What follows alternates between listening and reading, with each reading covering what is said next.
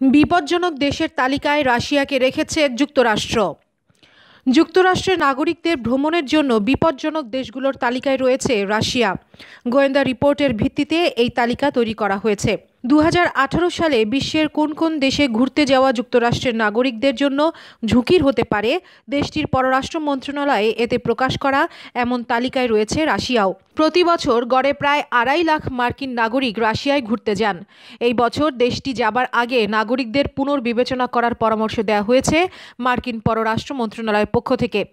যুক্তরাষ্ট্রের নাগরিকরা রাশিয়ার আইন প্রয়োগকারী সহ অন্য কর্মকর্তাদের দ্বারা হয়রানি, দুর্ব্যবহার ও চাঁদাবাজির শিকার হন। যুক্তরাষ্ট্রের নাগরিক সহ বিদেশিদের দ্বৈত নাগরিকতায় নিষেধাজ্ঞা আরোপ করেছে।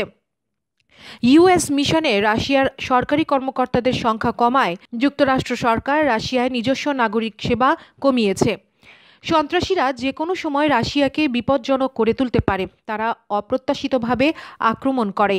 জনপ্রিয় পর্যটন কেন্দ্রগুলোতে হঠাৎ করেই ধর্মঘট শুরু হতে পারে। তালিকা প্রকাশের পর রাশিয়ার পররাষ্ট্র মন্ত্রণালয়ের পক্ষ থেকে জানানো হয়েছে, এই ধরনের ভীতি প্রদর্শন যুক্তরাষ্ট্রের কৌশল। এতে দুটি দেশের মধ্যে দূরত্ব আরও বাড়বে। আমেরিকাকে পাত্তা দিল না ইউরোপীয় ইউনিয়ন। ইরানের সঙ্গে সই হওয়া পরমাণু সমঝোতার প্রতি আবারও সমর্থন প্রকাশ করেছে ইউরোপীয় ইউনিয়ন। মার্কিন সরকার যখন এই সমঝোতা থেকে বের হয়ে যাওয়ার বিষয়ে চূড়ান্ত সিদ্ধান্ত নিতে যাচ্ছে, তখন ইউরোপীয় ইউনিয়ন সমঝোতার প্রতি সমর্থন ঘোষণা করল।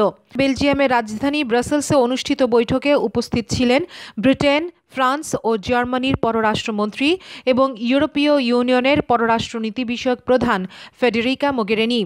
ইরানি প্রতিনিধি দলের নেতৃত্ব দেন পররাষ্ট্রমন্ত্রী মোহাম্মদ জাওয়াদ জারিফ।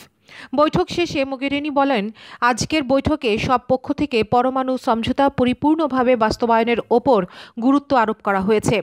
পরমাণু সমঝোতা ঠিকমতোই কাজ করছে এবং ইরানের পরমাণু কর্মসূচির ওপর নজরদারির যে লক্ষ্য নিয়ে সমঝোতা সই হয়েছিল, সে লক্ষ্য থেকে বিচ্যুত হয়নি।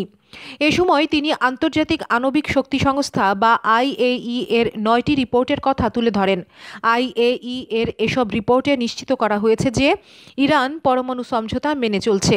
মোগেরিনি যদিও ইরানের ব্যালিস্টিক ক্ষেপণাস্ত্র কর্মসূচি ও মধ্যপ্রাচ্যে সৃষ্ট উত্তেজনা নিয়ে উদ্বেগ প্রকাশ করেন, তবে তিনি পরিষ্কার করে দিয়েছেন, এসব ইস্যুর সঙ্গে পরমাণু সমঝোতার কোনো সম্পর্ক নেই।